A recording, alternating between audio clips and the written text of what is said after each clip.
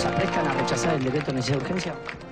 Sí, estamos ahora empezando a formar el quórum y la mayoría de la oposición eh, está dispuesta a rechazarlo. El gobierno manifestó que también va a impulsar el proyecto del senador Berna para pagar las deudas con, con reservas. ¿Ustedes se opondrían también a ese proyecto? En la discusión del proyecto de ley este, haremos nuestras propuestas, nuestras sugerencias, nuestras ¿Podría adelantarnos alguna? ¿Cómo hacer para pagar la deuda si no es con el uso de reservas? con el endeudamiento normal que puede tomar el país. La propuesta del subbloque para pagar los vencimientos de este año es tomar nuevamente deuda. Claro, si, si vos no tenés, vos podés pagar las deudas con plata tuya o tomando otra deuda, no, no hay otra manera.